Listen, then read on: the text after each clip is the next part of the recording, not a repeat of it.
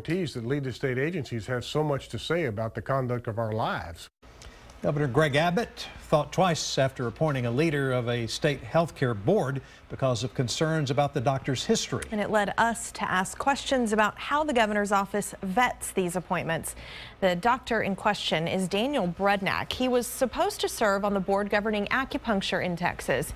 In 2011, the state medical board cited him for inappropriately prescribing stimulants and not keeping appropriate records. In a short to the point statement, the governor's press secretary said, quote, after our office was made aware of the seriousness of these violations, Dr. Brudnak tendered his resignation and we accepted it. KXAN's Phil Prazan takes an in-depth look at this case and the governor's appointment process.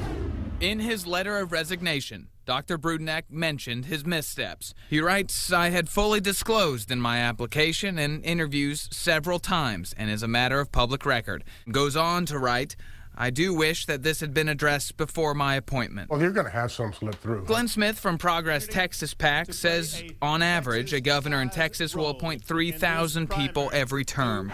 But he says bodies like the Transportation Commission, the University Board of Regents, even the Texas Board of Acupuncture Examiners are essential. So important because they administer our laws and regulations that it ought to be the first priority of a governor. You'd like to eliminate all mistakes. In the governor's office, 10 people work as the appointment team.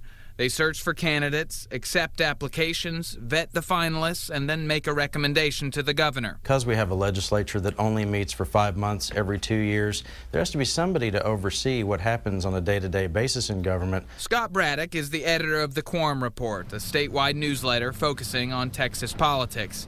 He says in many cases, appointments to these bodies are the source of the governor's power.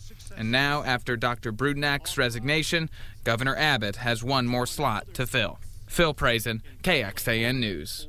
There are so many positions to appoint. Right now, more than 300 appointees are serving, even though their term has expired. Just today, Governor Abbott appointed three people to the Nursing Facility Administrators Advisory Committee.